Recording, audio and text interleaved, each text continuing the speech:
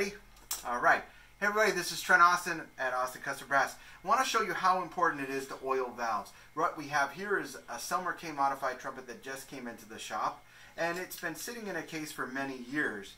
We have a tool here called a Magnehelic machine. It's primarily used to measure uh, leaks in woodwind instruments, but you can also have tons of great applications for brass instruments. And what this does is it measures the blow-through response in an instrument. So if it is wide open, it measures at a 10. If I plug this up, the thing goes to zero. That includes most trumpets never go to zero, but slides should go to zero, which indicates no leaks. Most trumpets will go between zero and one or two because you have to have some, uh, you know, compression loss in the pistons just so they actuate. So if we do this and put the horn, I have a practice mute inside the horn now. I haven't tried this that much, but what you'll see is this horn is super leaky. It's a 6 on the thing. What I'm going to do is just add some valve oil, not even slide grease, to this. And say, why, why do that? These valves are bone dry, so they're obviously not going to have any seal. It's like kind of driving your car with no oil in the car. It's not a good idea.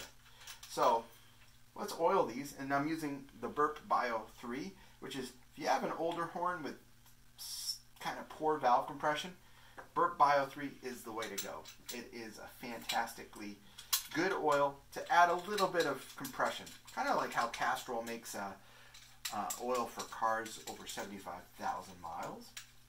Let's do the same test now. And all I did was literally oil the valves. This horn probably needs a good servicing as well, as you could see, but it's good to just show, just make sure. Sometimes you have to recalibrate this. Okay, it's not going all the way down.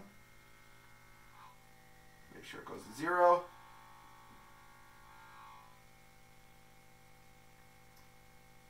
And we gained a whole number. We went from six to actually a little bit more than that just by oiling the valves. Not doing any of the slides. You, you seal the slides as in addition to that, it's going to make the horn a lot better. So oil your valves. That's that's your uh, motherly advice from Trent Austin.